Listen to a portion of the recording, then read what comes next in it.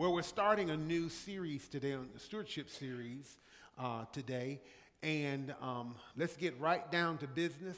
And I want to talk to you today from this subject matter God owns it all. Come on, say that. God owns it all. I see you're so enthusiastic about that, so enthused, I appreciate it.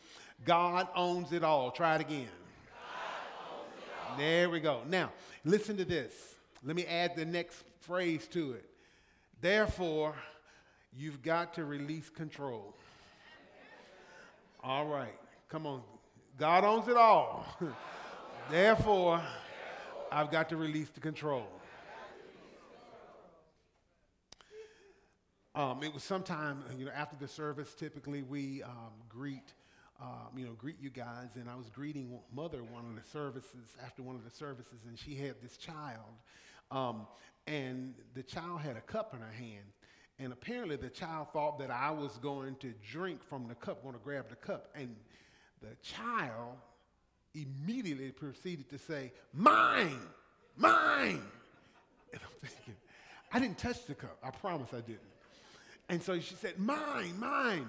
But isn't it interesting that at a very young age, we assume ownership? We assume ownership. When, when we understand this, understand that principle number one of biblical stewardship, this is, this is it. God owns it all. God owns everything. God's ownership is the guiding principle that all others hinge on. Without a proper understanding of this truth, one would err greatly in their understanding, communication, and handling of material possessions. So, to acknowledge God's ownership is to acknowledge his sovereignty. That means, God, you are in supreme, that you are supreme, supremely in control. The Bible is replete with examples of God's ownership. Can we walk through the word just a little bit today? It's okay to read scripture in church? All right, thank you. Leviticus, that's in your Bible. I know you said, Le, Le who? Lecrae. No, Leviticus. All right. Leviticus chapter number 25 and verse number 23. Leviticus 25 and 23 I'm just going to walk through the word, and we're going somewhere with this to show you that God owns it all. Leviticus 25 and 23 says this The land shall not be sold permanently, for the land is mine. For you are strangers and sojourners with me. That's God speaking. Again, the land shall not be sold permanently, for the land is who? God says the land is mine. Let's go to First Chronicles chapter 29 verse number 11. First Chronicles 29 and 11. First Chronicles 29 11 says this Yours, O Lord, is the greatness, the power and the glory, the victory and the majesty. For all that is in heaven and in earth is yours. Yours is the kingdom, O Lord, and you are exalted as head over all. Both riches and honor come from you, and you reign over all. In your hand is power and might. In your hand it is to make great and to give strength to all. So he's saying here in First Chronicles, Chronicles that all that is in heaven and earth is his. Still in First Chronicles, look down at verse number 14. First Chronicles 29 and 14. It says, But who am I and who are my people that we should be able to offer so willingly as this?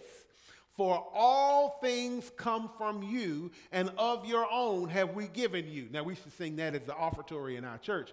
All things come of thee, O Lord, and of thine own have we given thee. Then, Amen. I see you came from that church too. Psalm 24 and verse number 1. Psalm 24 and 1. Psalm 24 1, we're familiar with this. It says, The earth is the Lord's. the earth is the Lord's. And just in case those of you, some of you try to get too smart and find loopholes, he says, and all its fullness. And the world and those who dwell therein. Let me paraphrase it. The earth is the Lord's and everything else, everything else in it belongs to God. All right?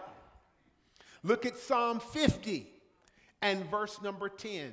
Psalm 50 and verse number 10. Psalm 50 and 10 says, For every beast of the forest is mine, and the cattle on a thousand hills. He says, Even the animals belong to me. So, Fido, oh, your little dog, your little cat, it belongs to God. Everything belongs to God. Look at Haggai. It's okay to read the Bible, right? Chapter 2 and verse number 8. Haggai chapter 2 and verse number 8. Haggai, that's in your Bible too, all right? Chapter 2 and verse 8. And you can check, read, jot these down and then read them in your time so you can review them again. Haggai 2 and verse 8 says, The silver is mine and the gold is mine, says the Lord of hosts. So now, I'm wearing a gold band today. You know what, God? This gold band right here. Some of you, you got gold. Raise your hand if you got some gold on you. It belongs to God. It's God's. God says, the silver is mine and the gold is mine. So notice, Everything that we see so far shows us that God owns it all. He owns the earth, everything in the earth, it belongs to Him. Now, what I want to spend our remaining time with is this. I want to show you not, not only does the earth belong to the Lord and the things in the earth belong to the Lord, but you belong to God. You belong to God. First of all, if you're taking notes, notice this. Write this down. You're, I'm his, uh, he owns me by creation. I'm owned because I'm his creation. Genesis chapter number one and verse, let's start at Genesis 1 1. That, I believe that's a scripture easy to find in the Bible. Genesis 1 1 says, In the beginning, what? God did what? Created the heavens and the earth. Skip down to verse number 26, Genesis 1 and 26. Genesis 1:26 says, "Then God said, let us make man in our image according to our likeness and let them have dominion over the fish of the sea, over the birds of the air, over the cattle, uh, over of all the earth and over every creep. I'm sorry, every creeping thing that creeps on the earth." All right, let me go on. So now, what he's saying is this every person that came on the planet belongs to God. Nobody got in here other than through God because God created Adam.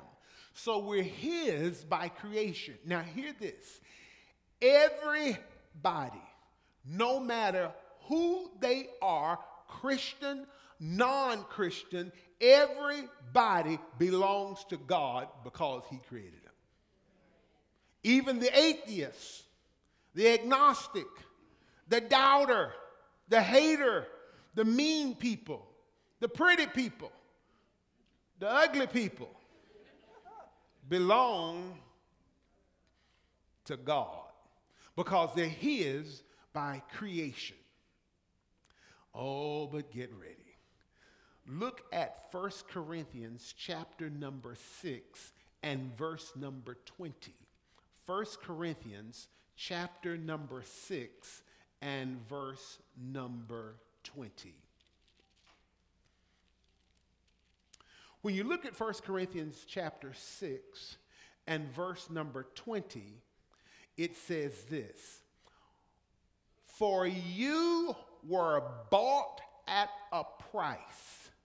Therefore, glorify God in your body and in your spirit, which are God's. So that tells me that we are owned, we're His by redemption. Do you see that? For you were bought at a price. Therefore, glorify God in your body. When he says bought here, it means that God went to the marketplace and he began to look at you and he deemed you worthy of being purchased.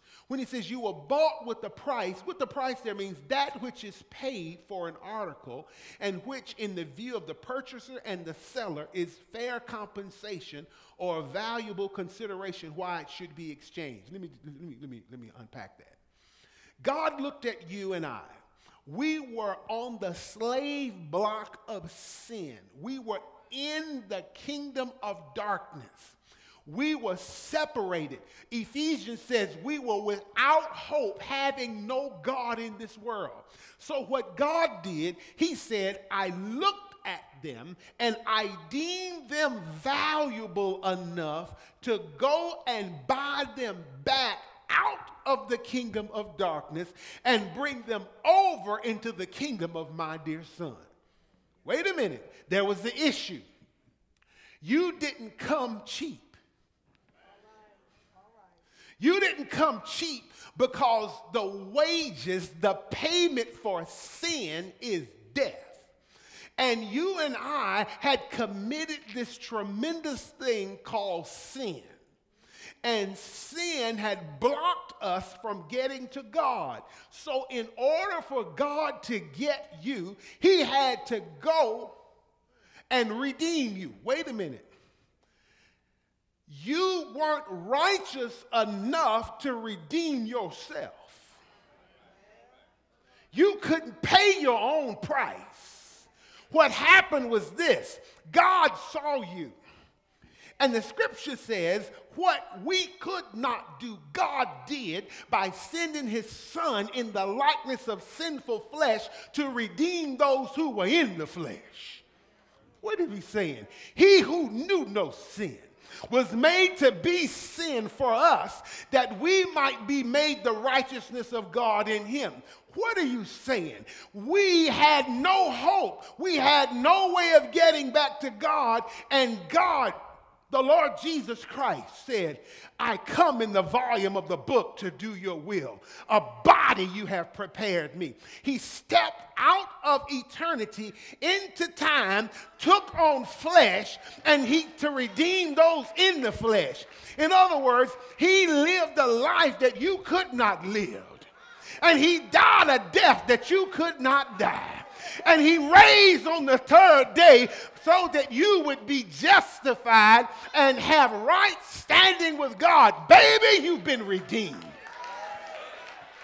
No wonder the scripture says, Let the redeemed of the Lord, oh, shout to me on this first Sunday of the year.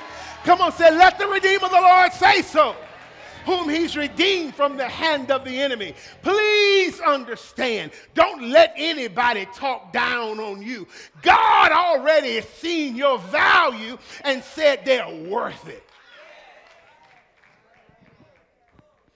He already has determined your worth. And he said, You're worth me buying back. So, wait a minute. If I'm his, that means I'm off limits to the devil. Totally. Da da da da da da da da. Can't touch this. Come on. Come on, come on. He can't touch this. I'm off limits. Off limits because I've been redeemed. And I've not just been bought with anything but the blood of Jesus, the precious blood of Jesus was, listen to me, it wasn't just spilled. That blood was gathered and taken to the Holy of Holies and offered for your sins and my sins. Listen to me. When you look in the book of Hebrews, it talks about it talks about that blood. It it likened it. It says now, if the blood of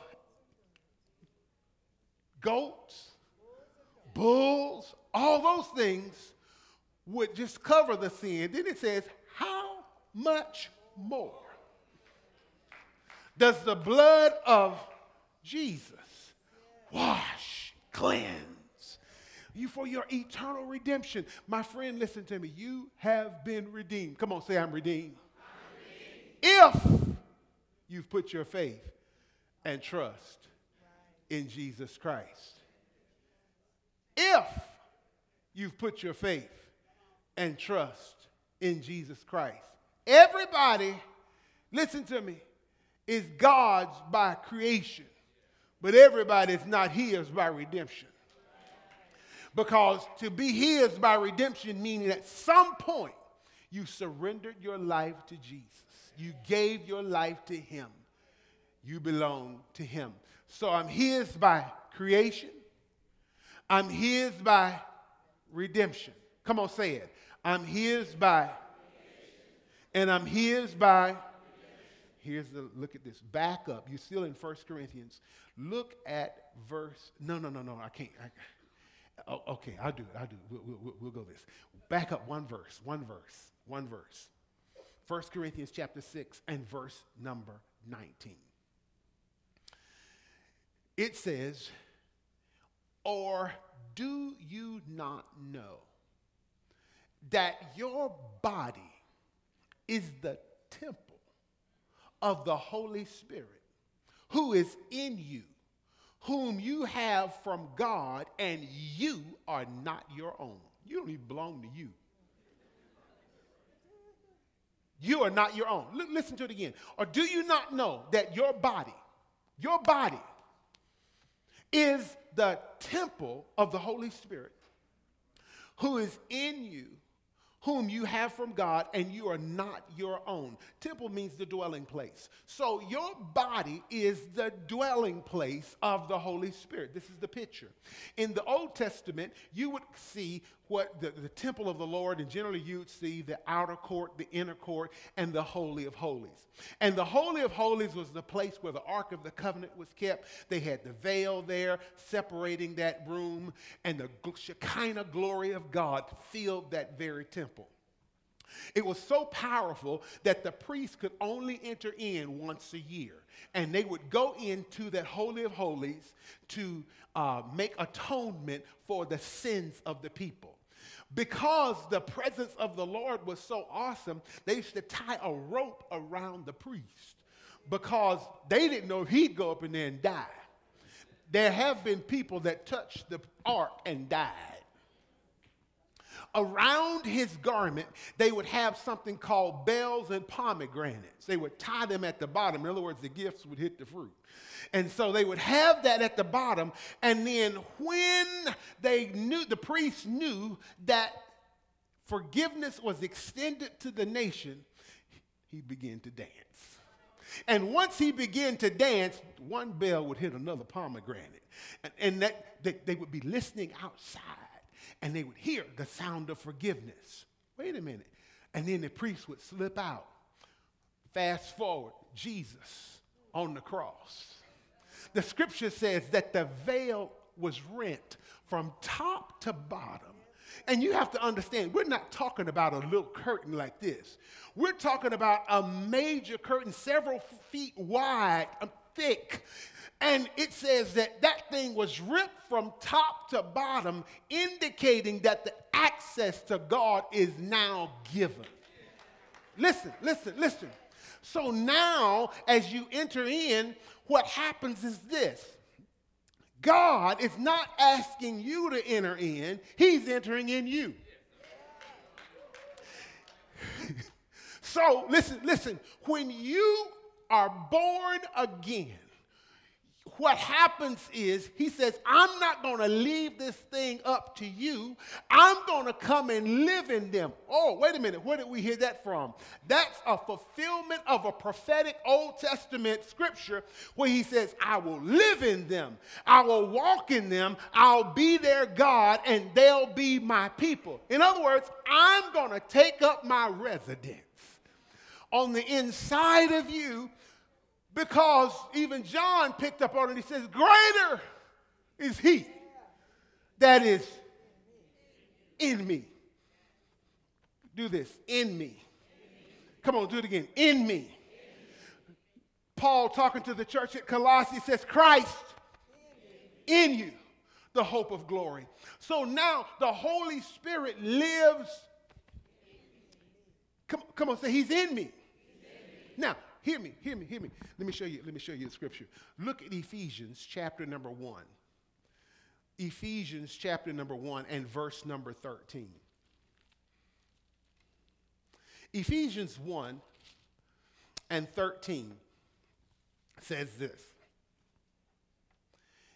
In him you also trusted after you heard the word of truth, the gospel of your salvation in whom also having believed, you were sealed with the Holy Spirit of promise, who is the guarantee of our inheritance unto the redemption of the purchased possession to the praise of his glory. Let me, that's like I said, that's a sermon by itself right there. But what God did was this He said, I'm not just going to give you a promise about your inheritance. I'm going to give you a seal guaranteeing your inheritance. How many have ever seen a title? An automobile title. I'm not talking about, you know, at the end of a name. A, a, a title, you, you seen an automobile? You, seen that? You seen that? How many getting ready to get there? How many have, have it already? You already have a title. Praise God. How many getting ready to get their title? I didn't say get your title back. Some of us may have to get our titles back. But hear this the title is proof that you own the car. Right? The title is proof. And what he's saying here is the Holy Spirit is the proof that God owns you. Oh, you, y'all, some of y'all miss it. The Holy Ghost is proof that you are God's property. Listen to me. That seal is on you no matter where you go. That seal is on you no matter who you're with. That seal is on you no matter what you do. That seal is on you no matter how you feel. Because God did not leave it up to you because He knew some days you would feel like a nut and some days you wouldn't. Sometimes, you hear what I'm saying? So He says, What I wanted to do, I wanted to give them something that they had nothing to do with. I'm going to come and put my spirit on them. And let me tell you something, baby, when the Holy Ghost comes, Oh my, he's there to lead and to guide you. Jesus said it like this I'm sending you a comforter. The word comforter is a, a, a compound word, para and then kletos. Para means to come alongside, kletos meaning you're called. So it's called to come alongside to aid you, to comfort you, to lead you, to guide you, to strengthen you, to do whatever needs to be done from God's perspective in your life. At all points, you have access to the greater one. The same, oh God, the same spirit that raised Jesus from the dead Romans says it's quickening, it's making alive your mortal body. So let me tell you something. Oh, I'm hollering. Stop hollering. Stop hollering. Stop hollering. But I'm telling you that He's on the inside of you by residence. Back in the day when carpet was really, really popular, they used to say you're a wall to wall, get wall to wall carpet. You are wall to wall Holy Ghost. Oh man, come on, tap yourself, say he's in there. At any point, you have access to, come on, say he's in there. That's why we've got to learn to walk with him. We've got to learn to move with him. We've got to learn to be sensitive to him, how he moves, how he walks, what he does, what he wants. And you'll begin to see not only are you his by creation, by redemption, but you're his by residence. Learn, learn, learn, learn, learn. Oh, I remember a preacher saying this get to know the Holy Ghost. Get to know the Holy Ghost. Get to, he's not just a Sunday feeling. He's not just a hooker Messiah where we're trying to speak in tongues, so I'm kind of making fun of that. But he's there to lead you, to guide you. Listen, he's smarter than you. He knows everything. He knows math. He has a whole book called Numbers.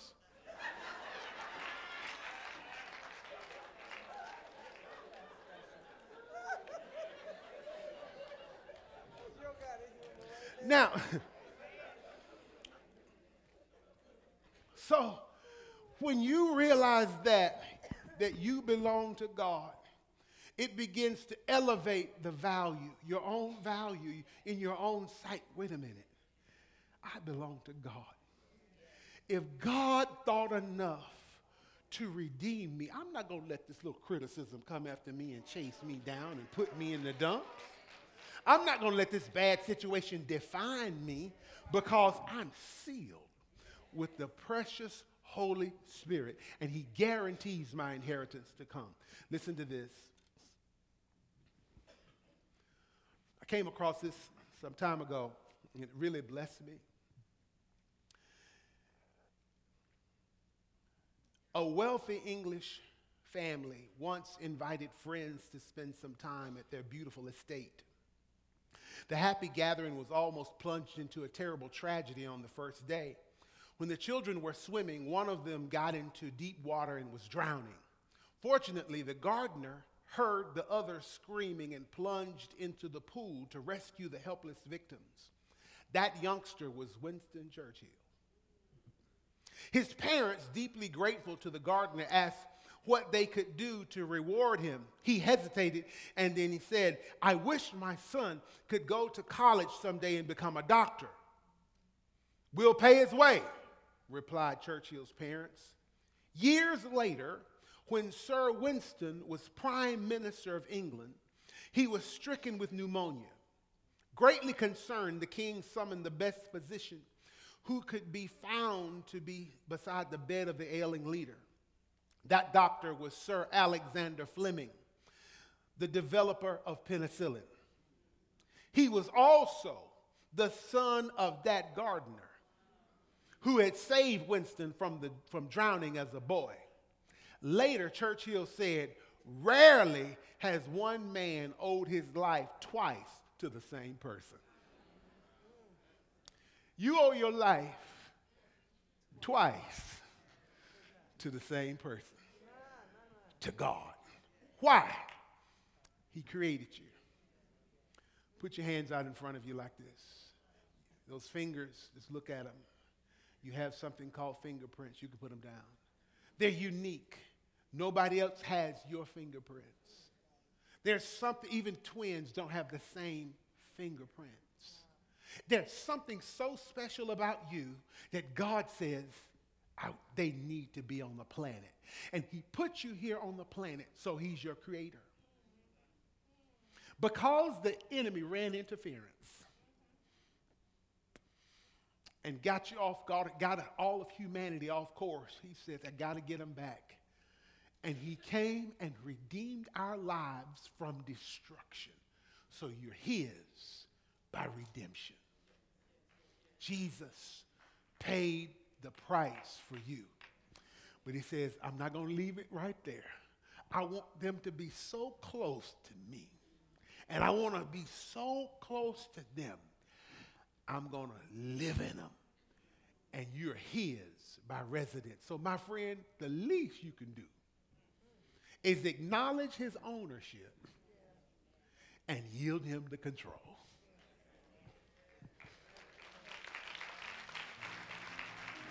So now I'm, i want to lead you in. in uh, um, I, am getting ready to. You, you're getting ready to give up a job, okay? You're ready to give up a job. I know you've been running the universe. I know you're in control, and I know that, you know, when we look at everything, it, no, nothing really happens without you. But today, you've got to relinquish control. Hear this, hear this. Control of my children,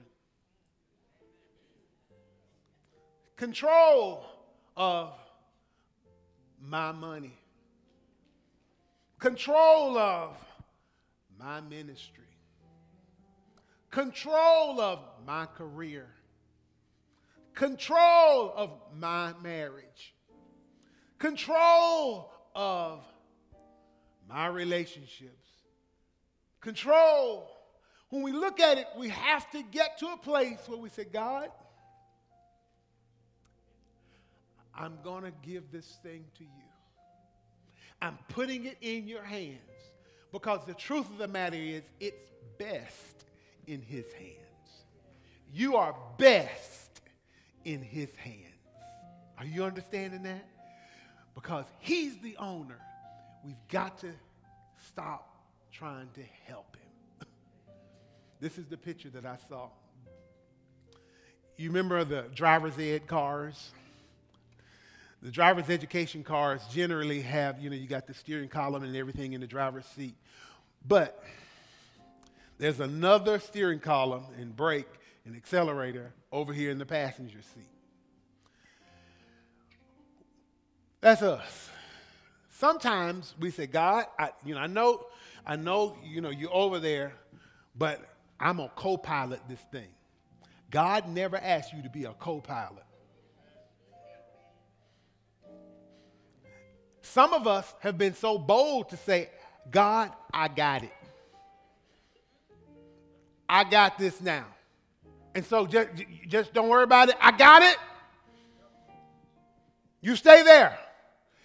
And we're going to run our own lives. I'm going to do this. James said it like this. He said, I'm, I'm going to go here and I'm going to do this and I'm going to do this rather than saying, What is the will of the Lord?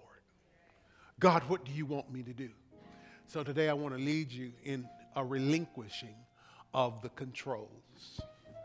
You can't make that man what you want him to be. You can't make that woman what you want her to be. You, have been unsuccessful so far. Can't make the children what you want them to be. Amen? All right, you ready? Stand with me, please.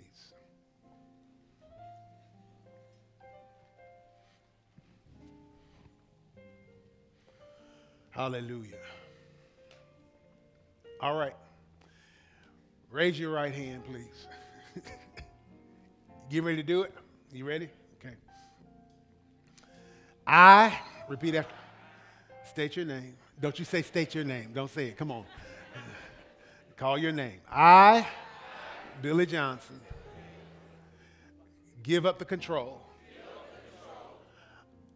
of my life I give it back to God. Today, I recognize God, you are the owner. You own everything, including me. So today, I ask you, take the wheel of my life. Take ownership of my life. Help me to become all that you have intended And I yield myself. Spirit, soul, body, economics, relationships, everything into your hands. In Jesus' name. In Jesus' name. Amen. Now give him praise for his great control. Come and experience transforming worship at New Covenant Christian Ministries. We have two locations. Our West Campus is located at 1760 Phillips Road, Lithonia, Georgia. Our East Campus is located at 14147 Highway 278, Covington, Georgia. For more information, please visit our website at www.newcov.org.